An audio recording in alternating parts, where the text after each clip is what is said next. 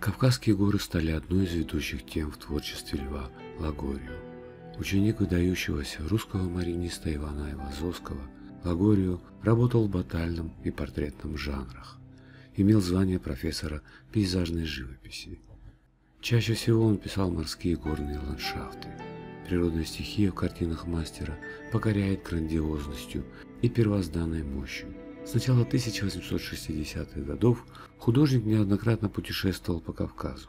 Одну из поездок он совершил в свете великого князя Михаила Николаевича. Лагорию участвовал в военных действиях, проходивших в этих местах, и был награжден российским орденом Святой Анны третьей степени с мечами. На протяжении всей дальнейшей творческой жизни мастер неоднократно обращался к кавказским видам, пользуясь натурными зарисовками, созданными во время поездок. Горные ущелья – характерная примета величественного ландшафта Осетии, Дагестана, Кабардино-Балкарии и других районов Кавказа.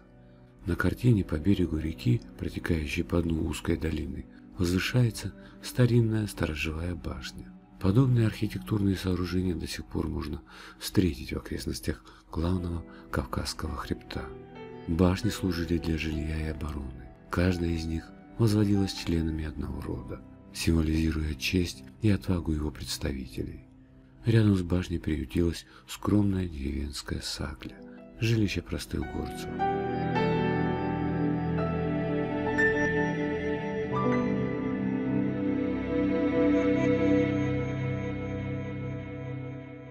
Современники называли манеру письма Лагорию бархатной. Они восхищались его умением передать красками световоздушную перспективу, тончайшие переливы света и тени, сгущающийся вдали воздух.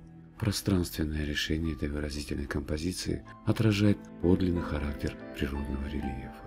Вместе с тем художнику удалась картинная целостность вида, его возвышенный героический пафос.